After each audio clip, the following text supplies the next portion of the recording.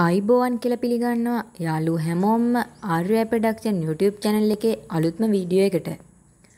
නවදිල්ලියේ පවතින වායු දූෂණ තත්ත්වයක් ඇති බව අපට දැනගත හැකි විය. එම වායු දූෂණය කොළඹ නගරයට පැමිණ තිබේද? ඒ පිළිබඳව ඔබට තොරතුරු රැගෙන ඒමට ප්‍රථම ආර්ය ප්‍රොඩක්ෂන් YouTube channel එක තවම subscribe කරලා නැත්නම් දැන්ම subscribe කරන්න.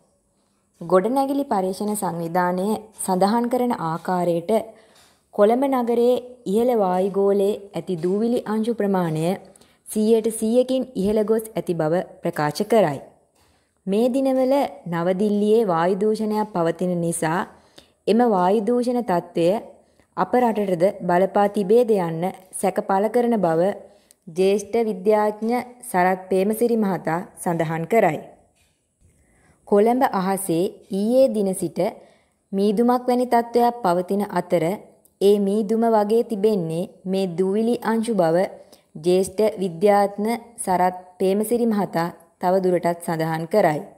ඇත්තටම නවදිල්ලියේ වායු දූෂණය අප දිවයිනට බලපායිද? තවද යාළුවනේ වැසි තත්ත්වයේ වර්ධනයක් ඇති බව කාලගුණ විද්‍යා දෙපාර්තමේන්තුව සඳහන් කරයි. ඉදිරි පැය 24 තුල සුලිකුණාටු ඇතිවීමට හැකි බව කාලගුණ විද්‍යා දෙපාර්තමේන්තුව සඳහන් කරන අතර එයට හේතුව බෙන්ගාල බොක්ක මුහුදු ප්‍රදේශයේ පවතින පීඩන අවපාතයයි. පීඩන අවපාතය උතුරු දෙසට බරව වයඹ දෙසට ගමන් කළ හැකි අතර මුහුද ඉතා රළු විය හැකි බවද කාලගුණ විද්‍යා දෙපාර්තමේන්තුව ප්‍රකාශ කරයි. පැයට කිලෝමීටර් 90ත් 100ක් දක්වා තද සුළං හා ගිගුරුම් සහිත වැසි ඇතිවීමට හැකි බවද කාලගුණ විද්‍යා දෙපාර්තමේන්තුව ප්‍රකාශ කරයි. දීවර හා නාවික කටයුතු වල යෙදෙන පිරිස් අවධානයෙන් පසුවන්න. තවද අධික වැසි නිසා ඩෙංගු රෝගීන් ඉතාමත් සීග්‍රයෙන් ඉහළ ගොස් ඇති බව ආර්යයි අපට දැනගත හැකි විය. අප රටට මේ කුමක් සිදු වී තිබේද? ඔබගේ අදහස් පහලින් කමෙන්ට් කරන්න.